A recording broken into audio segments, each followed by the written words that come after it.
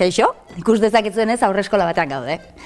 Hizkuntzaren eskuratzea gure bizitzaren lehenengo urtetan egiten dugu. Urte horietan gure garuna prest dago hizkuntza eskuratzeko. Gaitasun natural horrek aukera ematen digu hizkuntza bat baino gehiago batera eskuratzeko. Familia elean hitzetan oso ohikoa da hizkuntza bat baino gehiago batera eskuratzea.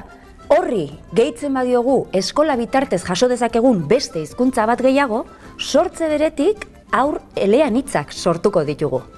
Aurreskoletan primeran dakite hori, eta edozein izanik ere aurraren ama hizkuntza, euskaraz hartatzeak beste hizkuntza bat gehiago eskuratzea eskaintzen digu. Areago, errealitate elean horrek gerora pertsona horri beste hizkuntza bat gehiago ere eskuratzeko aukera emanen dio. Iruñan ordea ez da inoiz erreza izan aurrak aurreskolara eramatea. Ikusi bestela zein izan zen errealitatea, bere aurra euskaraz eskolaratu nahi izan zuen familia honentzat.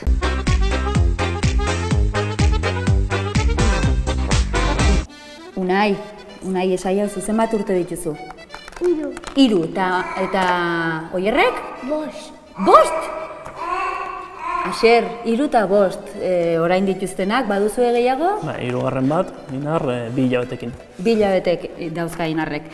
E, bi hauek aurreskolako garaia, bueno, be- beraiek aurreskolako garaian zeudenean, zein izan zen zuen autua? Gure autoa izan zen Euskarazko aurreskola batea eramatea biak. Aha. Eta? Bueno, e, garai bat, kontua da, bai oierrek eta bai honek bi egora zeharo ezberdin bizi izan zituztela. Oierrek e, bizi izan zuen e, garai bateko egora, alegia e, Iruñan aurreskolen e, plazeta, plaza guztietatik bederatzi ziren gaztelaniaz eta bat zen e, euskaraz, bi eskoletan bazegoen euskaraz, biak zeuden txantrean, eta beraz e, oier eraman behar izan genuen e, txantreara. Gu Guztintxurien bizi gara, Eta, bueno, nik egun batean e, zenbatu nuen e, hiru urtetan zenbat kilometro egin zituen janetorrietan, izan ziren zazpi mila irureun, gutxi gora bera. Bai? Orduan, ura izan zen, e, oierrek bizi izan zuen egora. Gero, e, egon zen aldaketa politikoa, eta beraz aldaketa aurre eskoletan, eta orduan unaik bizi izan zuen e, transiziozko egoera ura. Unai hasi zen, oierren e, txantreako eskolan, egun sentin, Bai. baina bigarren urtean eraman zuten arrotxapeko batera, eta hirugarren urtean... Kotilarren. ez, ber- bertze batera. Eta hirugarren urtean bertze er, arrotxapeko bertze batera. Orduan, unaik hiru urtetan hiru ikastetxe ezberdin eh, ezagutu zituen. Orduan, e, ongi, ze gure etxetik gertuago, baina batetik, honek hiru urtetan hiru ikastetxe, eta oiarrek hiru urtetan ba, zazpi mila eta piko kilometro Bai, zituen. Asier, eta horrelako zailtasunak e, zenituztela ikusirik edo aurre ikusten zenituztelako, zergatik egiten duzu autu hori? Bueno, hain zuzen ere, gure etxeko hizkuntza euskara da, eta orduan nahi genuen etxean bezala kalean ere, a- aldun e, guztietan euskara zaitea. Bagenekien eskola euskara zein zutela, beraz aurre eskola ere nahi genuen euskara zaitea. Eta, bueno, orduan, gure osoan, e, usten txiren badago aurre eskola publiko bat, baina inglesezkoa, eta hori ez genuen nahi, gaztelaniazko izan balitzere ez genuen nahi. Orduan, e, gertuena zen duguena, gara hartan zen txantriako egun senti, eta, bueno, orduan, e, gure lehenbiziko irizpidea izan zen e, hizkuntzana. Eta komentatu duzu, zazpi mila eta piko kilometro, hiru ikastetxe ezberdin, baina eguneroko hori nolakoa zen zuentzat? Bueno, ez dakit, e, azken batean e, ohitzen zara eta egiten, egiten zara dagoenera, bai? Bai. Horregatik amoragarria gertatu zen gero, e, aldaketa gertatu zelaik, Bai. nola zenbait guraso erdaldun zera hasi ziren protestaka eta bueno, e, epaitegietara jo zuten, ba, erranez diskriminatuta sentitzen zirela, baztertuta, hain zuzen ere, horietako batzuk behar bada ondoko auzoko eskolara eman behar zuten. Guk, bai, zazpina eta piko kilometro egin genituzalarik, unaik hiru urtetan e, hiru ikastete ezberdin ezagutu zituelarik, ez? Orduan, e, guk normal bizi izan genuen, e, hori zelako guretako, nor, bueno, Bai. e, Euskaldunen normaltasuna izaten da, ez? E, alde batetik bertzera mugitzea. Eta orduan, normaltasunez bizi izan genuen, baina nik gero ez nuen normaltasunez bizi izan, e, erdaldunen, e, zenbait guraso erdaldunen e, kesau. Ja. Gaur egun, e, komentatu dugu, zabaldu da aukera, Baina badira oraindik gurasoak, ba, beren auzoan e, ez dagoelako euskarazko eskaintza hori aurreskoletan, ba, bere txikiak hartu eta batetik bizti, bestera ibiltzen direna. Irtenbidea ez alitzateke ba, aukera hori eskaintzea, auzo guztietan. Bueno, hemen uste oinarrizko arazo bat dagoela eta hori da 0 hiru eh, hezkuntza ez dela berez hezkuntza, ez da hezkuntza ez dela hartzen, Ja. bai? Eta orduan eh, ez da unibertsala, bai? Nik ez nuke erranen erabat publikoa denik, eh, izan ere oso garestia da. Orduan eh, plaza asko falta dira. Orduan eh, nik uste guzia konpontzeko gauza litzateke 0 hiru ziklo hori hezkuntzara Bai. pasatzea eta unibertsala egitea, bai? Eta orduan zabaltzea e, Iruñeko auzo guztieta. Hori bai, horretako behar duguna da argi garbi da e, Iruñeko udalean orain e, agintean daudenak ez aldatzea e, eta ez itzultzea upene, ze upenek argi eta garbi errandu e, Euskaren aldeko e, neurri guztiak bai, Atzera botako dituela, atzera botako dituela. Bai, zakarrontzia botako dituzela, eta beraz, e, nik uste une honetan garrantzitsuena dena da e, UPN ez itzultzera boterera. Eta hala ere, naiz eta aukera zabaldu, badira guraso asko kanpoan gelditu direnak. Ze iritsi duzu zuk honekin? Bueno, hain zuzen ere, bueno, biztan denez, e, oraindik ez dugu bete, e, barkatu, Iruñeko udalak ez du bete e, dagoen Eskaera. hori, bai? Baina pentsatzen dute guraso erdal, zenbait guraso erdalduen eskaerak ere ez dituztela bete. Hain zuzen ere ez dagoelako nahi duten guztiendako e, tokirik. Zer egin beharko litzateke askoz ere aurre eskola gehiago ereki. Bai? Eta, eta horietan e, guztiendako, euneko eunekorendoko e, eskaintza ematea. Baina horretarako, egin behar dena da, aurre eskolak hezkuntzara pasatu. Eta zu komentatu jazu hirugarren bat baduzuela, bilabete eta pikokin orain ez da, bilabete terdi edo. Nola ikusten duzu? Ba, urtarrian eh, sartu beharko dugu nonbaiten eskolaren batean, eta une honetan euskarazko plazarik ez dago. Bai, atzo berean errantzien eh, guraso batek sorte izan zuela, sandu zelaikoan eh, libratu zela bat eta harrapatu zuela, Ja. ez? Horran ez dut uste, eh, tokirik izanen duenek, saiatuko gara eh, euskarazko pribaturen batean sartzen, baina ez dakit ere tokirik egonen den. Baina hori da gertatzen dena, ez? Ez dagoela tokirik. Ziurgabetasun horretan zaudete Bai, orduan, pentsatu dut azkenean nonbaiten sartuko dugula, gortzen az, bueno, amatxe irekin, edo zerrik. Ea sorterik eh, onena daukazuen behintzat, eh? Bai. Eskerrik asko, Ase. Eh, Bertze biak, baina zortan diego izanen du, hori seguro. Hori seguru. Bueno, orain irakurri behar diazu liburua edo ez? Bai edo ez? Nork irak... Zuk aurkitu duzu? Venga, Teo irakurriko du. Torri. Teo, Teo! Bai! Teo. Venga, biok! Teo, Aita, Teo. zuk ere bai? Bai, Teo, tio. Non, norra hasiko da? Venga, Teo. Hemen ez dago. Mm -mm, hori ez da. Teo, teo. Venga.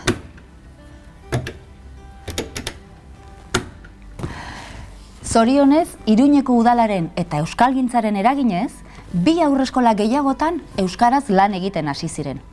Prozesua etzen batere erraza izan.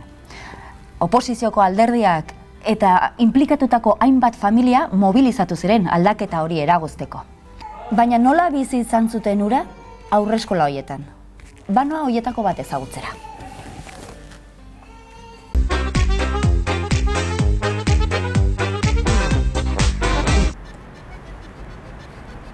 Ze gauza kuriosoa.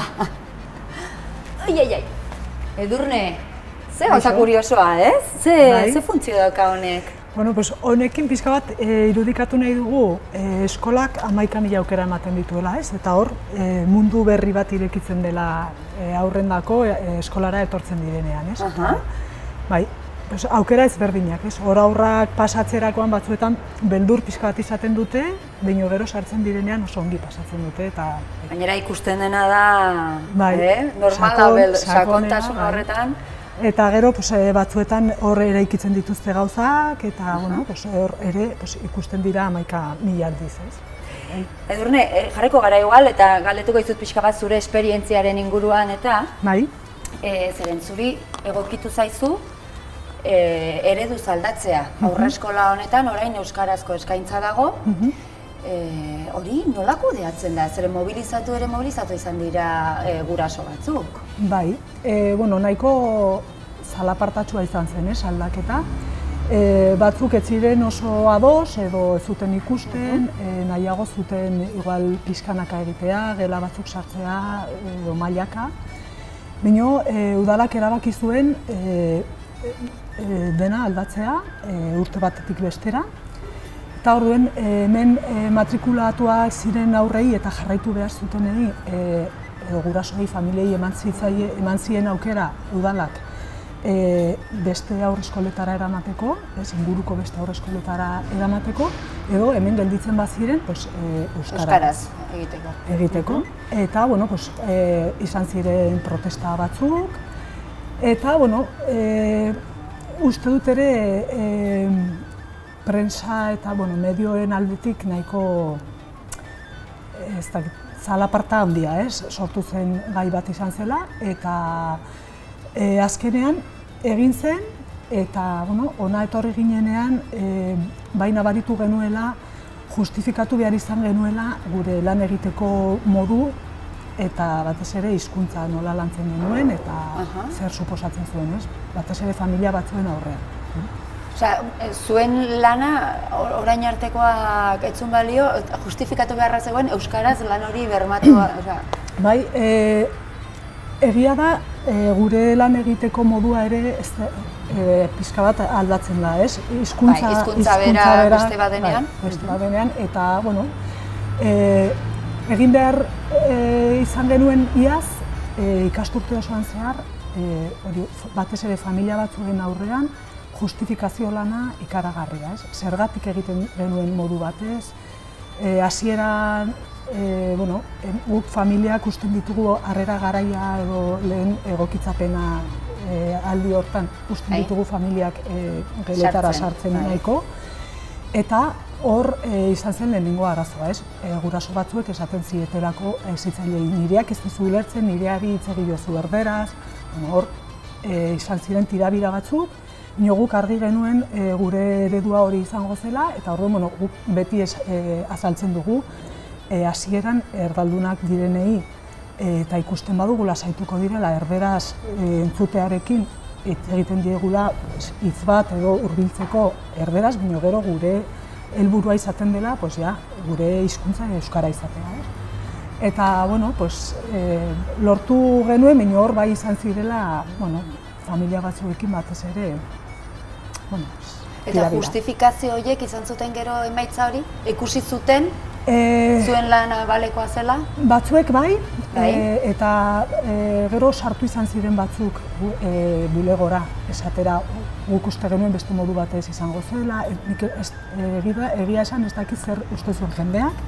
Baina barkamena eske diozu, osea, E, barkamena igual ez, bino, e, jo, pues, e, konturatu naiz etzela horren besterako, Ah, vale. edo bueno, e, beste hizkuntza batzuk ere daudela tartean eta aurrek ez dutela arazorik gero, ez, porque guk e, askotan hitz egiten dugu nik esaten nien beti, ez, gorputzak ere esaten du ba- asko gure doinua, hori dena guk saiatzen gara asko e, zaintzen, eta orduen e, familiek uste dute, baino gutxiago kostatzen zaie aurrei, ez? eta orain esperientzia hori edo emaitza hori kalean dagoela, zein da momentu honetan dagoen eskaria?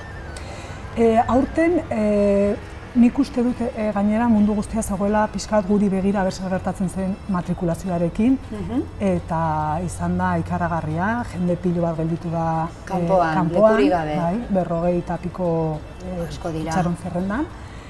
Eta ba, aurten bai nabaritu dugula, e, ja, aldaketa pixka bat izan dela. E, egina dago aldaketa, mundu guztiak onartzen du hemen euskara hitz egin behar dugula. Eta e, nolabait familia batzuegia etortzen dira hori nahi dutelako, ez? Gero eta gehiago. Eta horren hor e, familiekin harremana ere aldatu da nahiko, ez? Iaz izan zen tensio puntua, batez ere hasiera.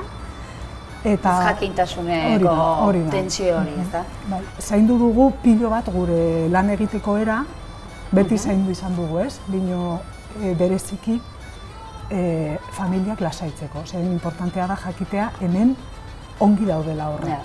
ez? Aurrak lasai, familiak lasai. Langileak nola bai- bizi izan dute aldaketa guzti hau? Pues, e, egia esan, ne, neri esan zidatenean hau e, libre gelditzen zela eta ni aukera neukala ona etortzeko, bueno, pues, niretzat izan zen e, erronka, ez? E, beldur puntu bat ere ematen zidan, e, hori, entzundako zalaparta, zegoen zalaparta eta eta gainera ez nekien ze nolako talde izango, nortzuk etorriko ziren. ezagutzen hemengo ingurua zer zegoen, zer zetorren ere. Eta ez nekien ere e, zeintzuk izango ziren hemengo lankideak, ez? Zeren, bueno, hor, da- hor daude zerrenda batzuk eta hortik e, etortzen da jendea, ez? Zeren, gau, e, fijoak ez dago, fijorik ez dago, bueno, e, lehenengo egin zen e, leku aldatze konkurso bat, Bai. eta bakarrik pertsona batek hartu zuen ona etortzeko. Eta beste guztiak izango ziren eventualak eta nik ez nekien hasieran zeintzuk, ez? Eta joan nintzenean, ja konkurtsillo hori egin zenean eta jendeak aukeratu zuenean, ni lasaitu nintzen pilo bat ikusi nuenean ze taldea etortzen zen. Osea, eh, ezagutzen dituen gehienak eta banekien talde horrekin dena ongi joango Ja. zela, sinesten dutelako lan egiteko eh, modu, modu Aurre ikusten bai. zenen gainera kurtso gogorra Bai, izan bai. entzela eta talde horrekin ere Bai, ni lasaitu nintzen eta gero pues, lehenengo bileretan bai transmititu niela hori, hori ez. E, bueno, pues, badakigu e, igual batzuk etorriko direla pizka tentsioa sortuko dutela eta eta saiatuko gara gu gure lekuan egoten, lasai, ez sartzen horrelako Gero e, izan ziren ere egun batzuk hor atarian e, pues, e, medio batzuk zirela, ez? Bai. Madrilgo medio batzuk, batez ere hasieran, ez? Eta, bueno, nik esan nien nahiago nuela, e, e, deklaraziorik egiten ez bagenuen, eta dena baretuko zela eta lasai egoteko, eta horrela gertatu zen, ez? Gu egin genuen gure lana, eta uste dut baretu zirela Transizio guzti honetan izan duzue udalaren laguntza? E, izan dugu udalaren babesa. Babesa. E, bai, e, haiek e, argi esan zuten hau zela euren e, apostua eta hor egongo zirela eta batez ere, bueno, pues, e, Maider Belokirekin eta e, hizketan egon gara eta beti eskaini digu. Noizbait ikusten baduzue familiekin hitz egiteko edo beharrezkoa dela jeistea e, e, aldaketa egin behar zutela esan zutenean, etorri ziren, gauzak azaltzera, eta gero e, askotan eskaini, digute. Pues behar, beharrezkoa ikusten baduzue, pues, jeitsiko gara, baina guk ez dugu beharrezkoa ikusi horrela. Eta orden, bueno, pues, baino, baino bai horritzan direla beti pizka bat. babesten eta. E, aldaketa guzti hauek e, udaletik etorri dira eta herri euskalgintzak e, Bultzatuta. bultzatutako e, apostu bat izan da. E, ze, ze paper ikusten diozuzuk euskalgintzari guzti honetan? Nik uste dut oso importantea izan dela, ez? E, oso argi utzi zuten e, nola zegoen e, Iruñean euskararen egoera aurreskoletan bakarrik txantrean zegoela eta hiri guztia ara jo behar zuela euskaraz nahi izan ez gero eta zabaldu behar zela eta bueno, pues, e, aurrez aurretik egindako lana sinadurak sinadura bilke eta hori horrek guztiak e, izan zen bultzada ikaragarria eta uste dut oso oso importantea izan zela. Ba, eskerrik asko, zure ateak zabaltzeagatik. Zergatik zuei, ona etortzeagatik. Langile onak eta pertsona ezin hobeak topatu ditugu Donibaneko aurreskolan. Horrelako enbaxadoreekin dena da errezago. Determinazio handiz jokatu zuen udalak. Hainbeste urtetako bazterkeriari amaiera emateko unea iritsi zen. Maider beloki da alor horretako zinegotzia. Eta berari egokitu zitzaion aldaketa kudeatzea.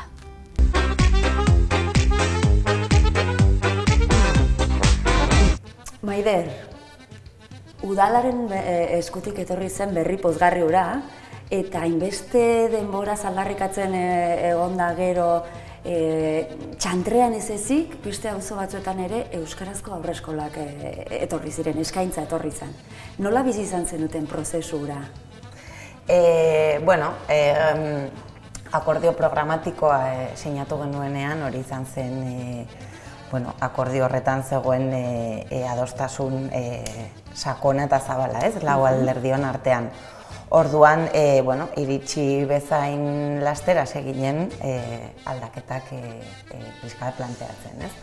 Orduan, bueno, e, aldaketa hau, bueno, pues izan da, e, e, pues, izan ditugun e, politikaren ondorioz, hogeita ama piko urte egon gara iruñan, e, bueno, ba, eskaintza hori handitu gabe, hogeita mairu urte uste dut izan zirela, e, bakarrik bi eskola euskeraz, eta, eta bueno, ba, eskubide eskubideetaz ari gara hitz egiten, ez? E, Euskaldunok ezin izan dugu gure aurrei e, beste auzoetan matrikulatu eta eta hori izan zen hartu genuen lehenengo lehenengo erabakia zaia, ere bai historikoa zaia zeren bai. bueno, ba genekien erregimen osoa e, erori behar zela gure gainean, horrela izan da, e, potere judiziala, ez bakarrik e, mm e, oposizioa, baizik eta elegiten bidez, oraindik gaur egun jarraitzen dugu e, azken elegitearen e, erresoluzioaren e, zain daude. Orduan, bueno, pues, e, bizi izan genuen, bueno, e, aldaketa, aldaketa hauek e, badakigu pues, e, gero ondorioak dakartzatela e, politikoki eta eta bueno, pues ere bai e, pertsonaki gobernuan, osea ez dira ez dira errazak, baina historikoak dira, egin behar genitun bai ala bai, e, eta eta gainera e, postasun osoz egin egin, egin genitun, ez? Eskaintza aldaketa hau etorri da bai udalaren aldetik, baina baita herri mugimenduaren aldetik. Bien arteko harreman sendo bat sortu da hor, eta elkarlan oso interesgarri bat. Bueno, hori da gure eredua, e, orokorrean, e, ez bakarrik e, euskara edo aurre eskolen inguruan e, egin ditugun aldaketekin, baizik eta mm, orokorrean, e, bueno, pues, e, e, hori da gure gure lan bai. eguneroko lana, ez? Bai. Kolektiboekin lan egitea eta entzutea eta denon artean aldaketa horiek pos, posible alizateko, ez? Mm.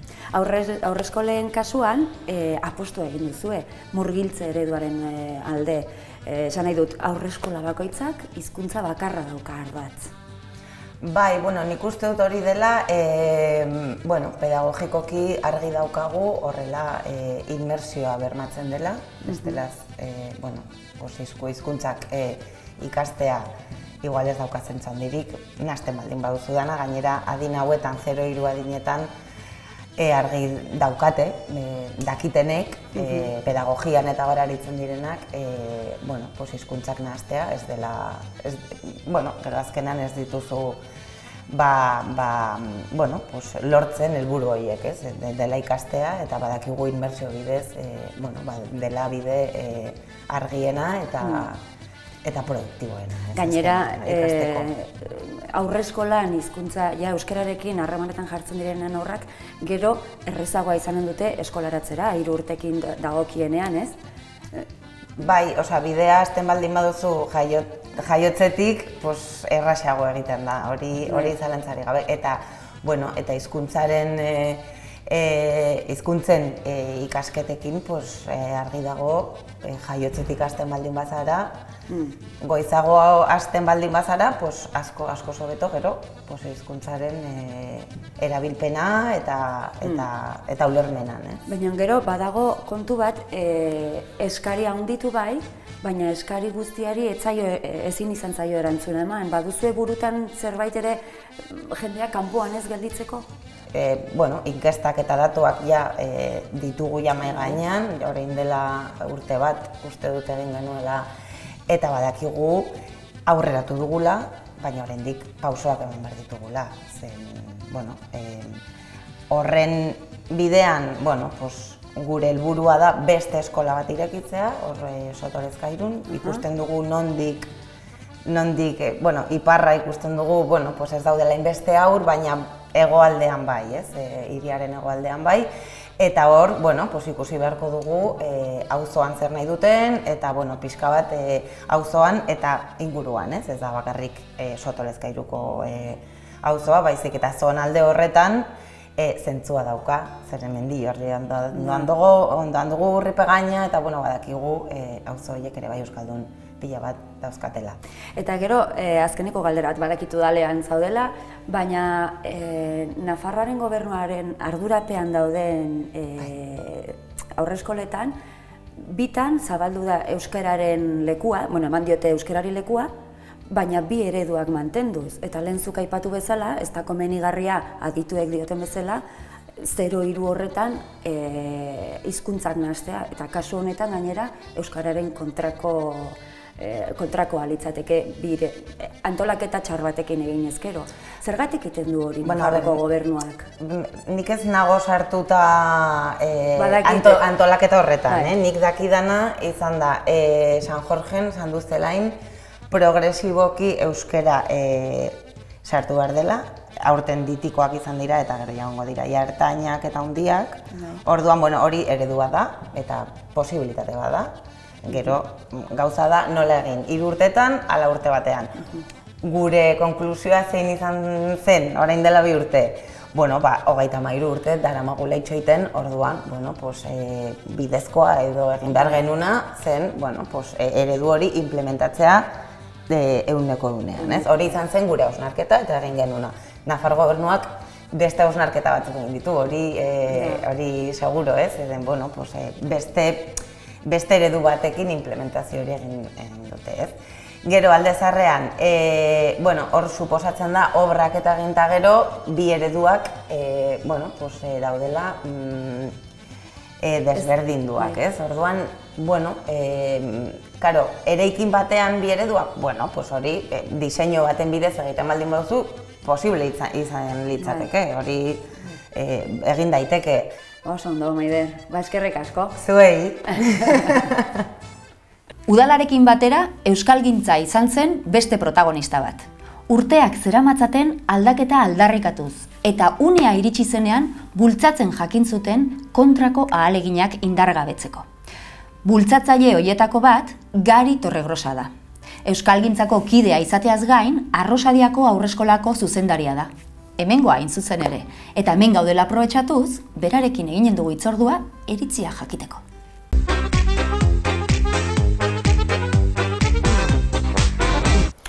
E, bada beste kontu bat, Maria, aurreskolena. Udalak egin duen, bueno, Iruñeko udalak egin duena izan da, bi aurreskola berritan euskarazko murgiltzea bermatu du. Eta Nafarroko gobernuak egin duena izan da, e, desdoblatzearen alde. Hori zergatik e, egin du horrela gobernuak? E, gobernuak hala egin du, batetik ikusita udalak egindakoaren emaitzak. Hori bat, bino ez bakarrik. Mm? Zeintzuk, e, zein maitza ikusi ditu gobernuak? Ez, zer gertatu zen nola, zer nolako erantzuna egon zen jendartean, e, biranik beti esan du, ni izan naiz desplazatuetako bat. Aha. Nik izan ditut umeak hemen e, deskalzo zen, Bai. aurre eskolan, eta urtetan ibili naiz aldarrikatzen gauza berbera, nahi nuela aurre eskola euskaraz. Gehiengoa ginen, gurasoen gehiengoak hori nahi zuen, eta ezken aukan aukerik. Eta ni, bueno, naiz izan desplazatua, azken batez, e, desplazatua izan ginen aurreko urtetan, lehenengo urtetan, baino gero, e, bueno, pues erabaki nuen auzoan gelditzea, naiz da e, euskarazko aurrezkuntzaik ez izan. Claro, nik nire burua desplazatua ikustea, pues, e, niretako txarra zen, etzen nahi nuen egoera. E, hausoko besteak desplazatzea ni sartu alizateko murgiltze hori egite aldera, pues ez dakite iruditzen zaidanik e, justuena. Diot, e, bermatu behar dena da, esaterako auzoan, e, alik eta gertuenen izatea beharrezkoa den zerbitzu bat, zero irukoa. Ja. Nere auzoko eskolan posible bada, eta nahi dudan hizkuntzatan. Eta uste dut posible dela bermatzea hori. Eta eraikin berdinean bi aukerak, ez, di- ez duzu ikusten beti euskarak galtzekoa daukala?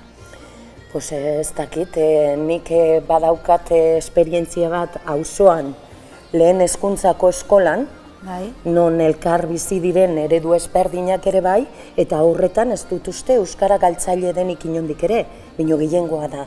Euskaraz eh, aritzen diren ikasleen kopurua agitza handiagoa da gainontzekoena, baino uste dute aurreskolan logikaz eta ikusita zein den auzoaren errealitatea gauza bera gerta litekela. Eh? Osea, kasu horretan eta eskolan sartzea besterik ez dago eta ikusteko zein den eh, Realitatea. errealitatea eta eredu kasu horretan e, e, nagusia edo indar gehien duena. Bai udalak eta bai euskalgintzak murgiltzearen aldeko apostua egin dute. Aurreskola bakoitzak bere hizkuntza eredua izan behar duela uste dute, eta horren aldeko apostua egin dute. Nafarroako gobernuak beste bide bat hartu du, garik esan digunez. Hezkuntza kontseilaria den Maria Solanarekin hitzein genuenean, gai hau atera zen. Ikusi.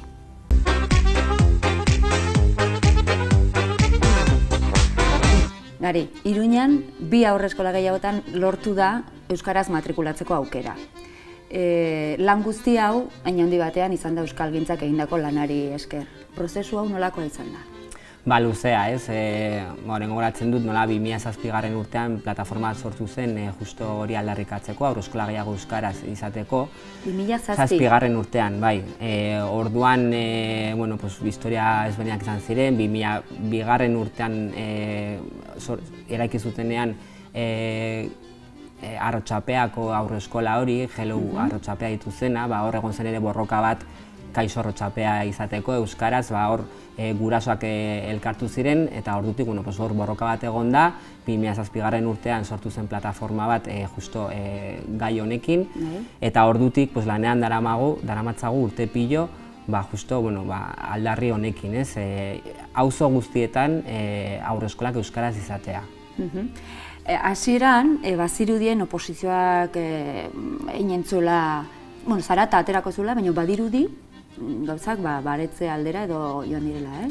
Ba, bueno, azera nahiko bortitza izan zen, ez, aldake, aldaketek sortzen dute, ez, e, hori, baina, bueno, gero lehenengo ikasturtea oso arrunta normala izan zen, eskola, aurreskola guztietan, honetan eta doni ganen, eta egia esan e, guraso guztiak oso pozik daude, aldaketarekin pozik, eta guraso askok eskertuta ez diela joan behar txantrearaino, ez, lehen bakarrik bi, bi aurreskola ziren, biak txantrean, gero aldaketago bat egon zen, baina bueno, oso eskertuta ba, kilometro pilo bat egin behar ez dituztelako eta behingoz ba, bueno, e, normaltasun bat dagoelako ere ziklo honetan. Ez? Gari, e, aipatzen ari gara, hasiera batean txantreara eramaten zituztela aurrak, e, oraindik ere, naiz eta aukera zabaldu den, jarraitzen dute gurasoek beraien e, semea mugitzen, eta ari gara gainera 0 hiru urteko aurrei buruz. Bai, egia esan, garai horietan familien kudeak eta oso zaila da, eta ibili behar izatea, pues, lehen txanteraraino joaten, arrosadian bizi zen familia txanteraraino joaten, ba, kriston esfortzua e, zen, ez? Eta da, eta da gaur egun ere, oraindik ere auzo guztietan ez dagolako.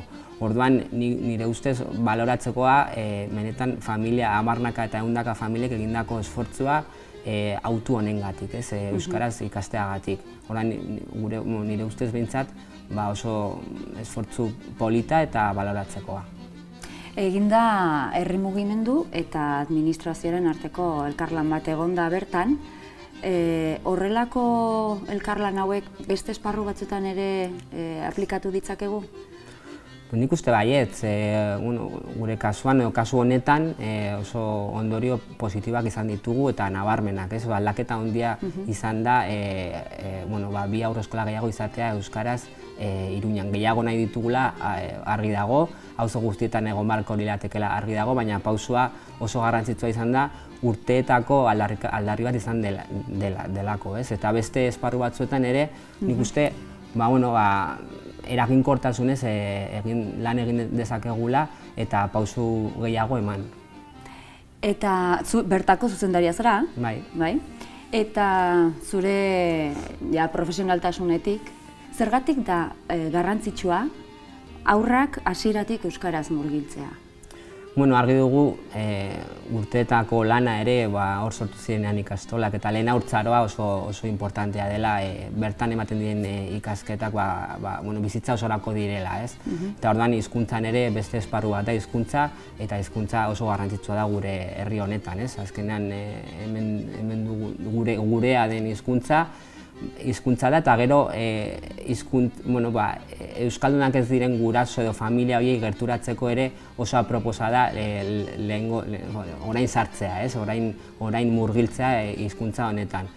Gure kasuan ba, bueno, pues, e, argi dugu eta lan egin dugu honetan eta sinisten dugu benetan e, orain dela momentua ikasteko eta eta familia hori guztia ere euskara gerturatzeko. Hitz egin izan ditugun aukera hauek dira udalak eh, eman dituen eh, aukerak, baina Nafarroko gobernuak egiten duen aukera edo egiten duen apostua da desdoblamenduaren aldekoa. Nola baloratzen duzu hau pedagogikoki? Bueno, nire ustez e, egokiena e, aurre eskola osoa euskaraz izatea, ba, e, euskara ikasteko euskaraz ezitzeko ez delako, nahikoa bakarrik gela batean gertatzen dena. Azkenean e, eskolako bizitza euskaraz izatea e, garrantzitsua da, ez e, euskararen murgiltzean. Hora, bueno, nire ustez hori litzateke, oza, udalak emandako pausoa litzateke niretzat egokiena. Hala ere, bueno, ba, e, Nafar gobernuak egindako autua edo pau, emandako pausuak, bueno, pues, nik uste bere baloratzekoak, baloratzekoak direla, baina aratago marko dira eta eta espero dute mendik aurrera ba, bueno, matrikulak gora doazen einean ere ba, bihurtuko direla. E, ez, e, aurro eskola osoa euskaraz bihurtuko dela eta bueno, bide, bide horretan jarraituko dutela. Bagari, lana asko daukazuela argi dago, eta nik denbora gehiago, kendu ez dizu kenduko bintzat, bale? Eskerrik asko. Zuei, ongi izan.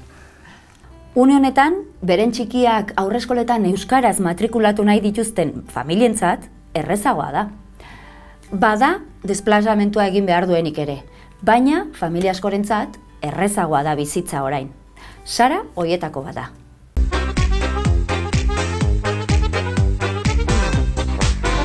Sara, ibai kutziko digu, ezta? Galdera txiki batzuk egin barizkizut, bai, besteik ez? Seguru bai E, askotan komentatzen da, e, aurreskolak e, hautatzerak orduan, irizpide nagusietako bat, bueno, estadistikek ala esaten dute behintzat, gertutasuna izaten dela, ez? Mm Irizpide nagusietako bat. Zuretzat garrantzitsua izan da gertutasuna? Bai, bai, egia da gertutasuna irizpide garrantzitsu bat izan dela guretzat, baino alata guztiz ere e, hizkuntzak garrantzia handiagoa zu, e, izan du guretzat. Baino kasu honetan e, Iruñako aurreskola publikoetan eredu linguistiko aldaketa izan dugunez, ba zorionez gure auzoan aukera izan dugu e, gertu eta euskarazko bai. aurreskola bat edukitzeko. Bi irizpideak batu zaizkizu, ez da? zaizkigu. Eta zer da aurkitu duzuena? Zegoera aurkitu duzue? Pues oso giro polita aurkitu dugu. Egia da, e, auzoko Lasai, lasai, kablea ez dizuk enduko, ibai hau amatxona da. Egia da auzoko familia asko daudela eta baita ere inguruko familiak, bai. Euskaldun asko garat, Euskaldunak ez diren beste batzuk ere, baina haien txikiak e, Euskarazko horreskolara jo nahi zuten familiak ziren, eta oso giro polita dagoela. Pozik zaudete? Bai, bai, bai. oso oso pozik. Bai. Suposatzen dut, e, entzun entzen itula ere bai, garai batean e, nola ibili ziren beste guraso batzuk, egunero, egunero, egunero, bere txikitxoak hartu eta leku batetik bestera eramaten, ba, ba mhm. bere garaian ez zutelako gaur egun daukazuen aukera hau, ezta? Ze pentsatzen duzu hauen historiak eta entzuten dituzunean? Ba, pena handia ematen dit, eskerrak eman behar zaie, ez? Haiek egin duten lanari esker, pues, e, ez delako aztu e, aurrezkolen euskarako eredua, eta haiei esker, pues, orain bi aukera gehiago izan ditugu, Donibanen eta Rosadian, eta, bueno, ba... Eskerrak emateko bai, bai ez da? Bai, eta, eskerrak Eta hemendik e, aurrera ere, ez egiten dugu haiei buruz, gaur zuek zaudete, baina bihar egonen diren hoiei eta zalantzan daudenak e, euskarazko eskaintza hartu edo ez, familia esperoan dauden hoiei, zalantzan dauden hoiei, zer esan entzeniek esara? Ba, animatu daitezela euskaraz matrikulatzera, e, gurizkuntza delako, horrela aukera emango dietelako atxikitatik euskara ikasterat, gero ikastolara pasatzerako orduan erraztasun handiagoak izango dituztela, eta gehien bat ba hori animatu daitezela, probatu gutxien ez, ez? Oso ongi. Jo, ba, eskerrik asko ez dizu denbora gehiago kenduko, badakit katarro pixka batekin dagoela gure bai. bai. Beraz, eskerrik asko, bale? Eskerrik asko zeri.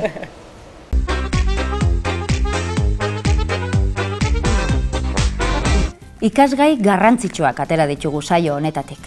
Batetik, Euskalgintza eta Administrazioa elkarlanean ari direnean, errezagoa da dena.